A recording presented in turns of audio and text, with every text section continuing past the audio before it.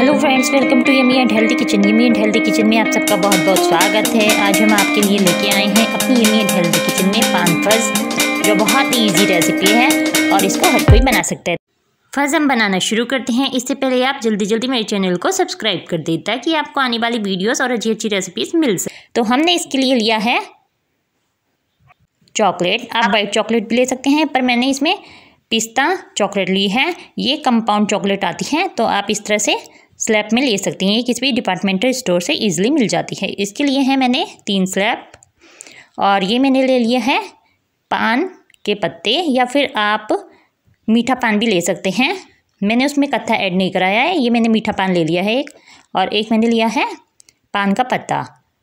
तो ये इसको ऐसे फोल्ड ही कर देते हैं। इसको हम बीच में से कर लेंगे कट ये देखिए इस तरह से मैंने कट कर लिया है। इसमें मैंने ऐड की है थोड़ी सी सौंफ। वैसे मीठे पान में होती है, पर मैंने इसमें और थोड़ी सी ऐड की है। कुछ हमने ऐड की है इसमें टूटी फ्रूटी।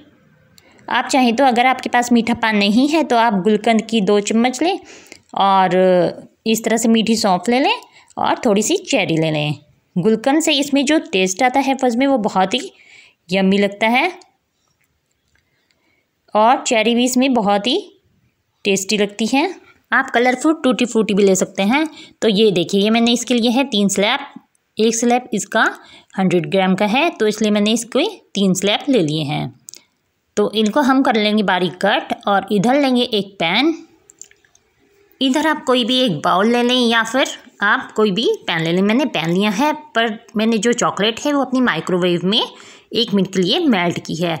पैन का मतलब ये नहीं है कि मैंने इसको गैस पे मेल्ट किया है। गैस पे ये डायरेक्ट मेल्ट नहीं होगी। या तो आपको इसी के नीचे बाउल में एक पानी रखना पड़ेगा और डबल बॉयलर मेथड से आपको ये चॉकलेट मेल्ट करनी पड़ेगी। डायरेक्ट हम कभी भी चॉकलेट को, जो कंपाउंड चॉकलेट होती है और जो सिंपल चॉकलेट होती है, वो भी इस पर गैस पे नहीं मेल्ट करते हैं, वरना वो जल जाती है। टू टेबल स्पून लिया है हमने इसमें बटर और सिक्सटी ग्राम ऐड करेंगे हम इसमें। Condense milk. कंडेंस मिल्क इसमें ऐड करने से क्या होगा कि ये बहुत ही स्मूथ हो जाती है, क्योंकि हम जो फ़र्स्ट बना रहे हैं वो थोड़ा स्मूथ ही होता है। और कंडेंस मिल्क डालने से ये लाइफ टाइम भी इसकी बढ़ जाती है। तो आप इस तरह से कंडेंस मिल्क मिल्क मेड ले लें और किसी भी कंपनी का ले सकते हैं आप, वो इसमें ऐड कर दें सिक्सटी ग्राम। इसको कर देंगे हम अच्छे से मिक्स।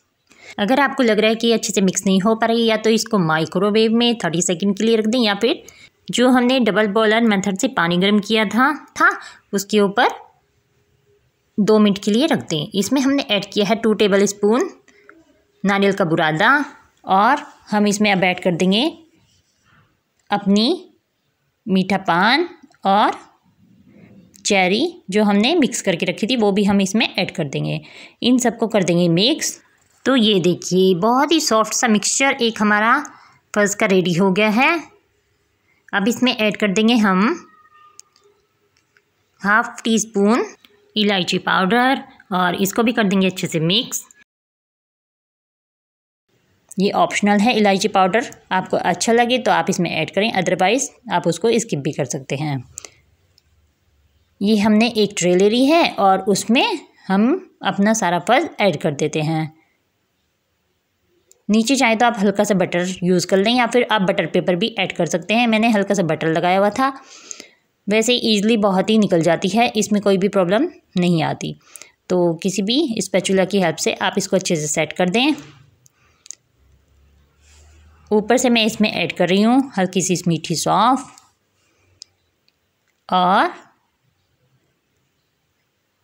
हल्का सा हम ऐड कर देंगे नारियल का बुरादा। उससे क्या होगा कि ये बहुत ही गुड लुकिंग लगेगा। और बच्चों की तो ये फेवरेट ही होने वाली है। मेरे घर में जब भी मैं इसको बनाती हूँ, ये बहुत ही ज़्यादा पसंद की जाती है। इसको हम हल्के से सेट कर देंगे और बस। दस मिनट में ये आपकी अच्छे से सेट हो जाता है, जो आपकी फ़र्ज़ है। अगर आपको लगता है कि अभी सेट नहीं हुई तो इसको दस मिनट और छोड़ दें। ये देखिए, फ़र्ज़ हमारा सेट होने लगा है तो हम क्या करेंगे? इसमें इसी टाइम पर कट का निशान लगा देंगे। क्योंकि फिर अच्छे से सेट होने के बाद इसमें कट करने में थोड़ी सी प्रॉब्लम आती है। अभी ये थोड़ी स्मूथ है, इसलिए फटाफट से ये कट हो जाती है। तो ऑनली हम इसमें अभी कट के निशान ऐड कर देंगे और इसको हम निकाल लेंगे पाँच मिनट बाद। पाँच से दस मिनट बाद जब लगे आपको कि आपकी फ़र्ज़ अच्छे से सेट हो गई है, आप उसको निकाल लें।